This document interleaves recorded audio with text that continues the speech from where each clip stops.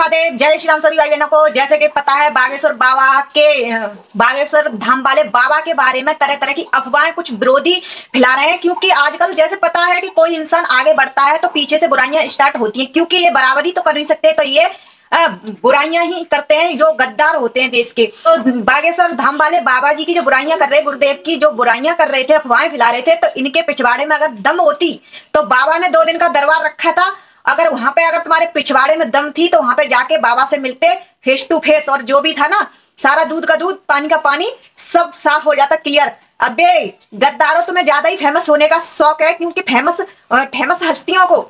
Famous हमारे गुरुदेव गुरुदेव famous हमारे बाबाओं को, बाबाओं के बारे में इस तरीके की अफवाह फिला फैला के अपने आप मैं टीआरपी बटोरना, अपने आप को फ़ेमस करना, इस तरीके की अफवाह फिला फैला के तो सुअर जितने भी हो सुअर इन सुअरों के मुँह पे ना मैं चप्पल मारूँगी तार के। जो भी है ना, इस तरीके की अफवाह फैलाएँगे ना, उनके मुँह पे ऐसी चप्पल मारूँगी मैं कि मतलब दोबारा हमारे जो भी है सनातन धर्म को जागरूक करते हैं, जितने भी बाबा हैं, ये आपने देखा होगा कि जितने भी हमारे सनातन धर्म को जागरूक करते हैं तो आए दिन कुछ गद्दार जो मतलब जिहादी मानसिकता वाले हैं, जो हमारे कुछ हिंदू भी हैं और इस तरीके की अफवाह फैलाते हैं कि हमारे जो धर्म गुरु होते हैं, उन्हें बदनाम करने की कोशिश करते थे ऐसे कुत्तों के मुँह पर तो मैं थप्पड़ ऐसा मारूँगी ना कि ज़िंदगी भर याद रखेंगे। तो सभी अपने भाई बहनों से मैं निवेदन करना चाहती हूँ कि वीडियो को ज़्यादा ज़्यादा शेयर कर दे और जितने भी हमारे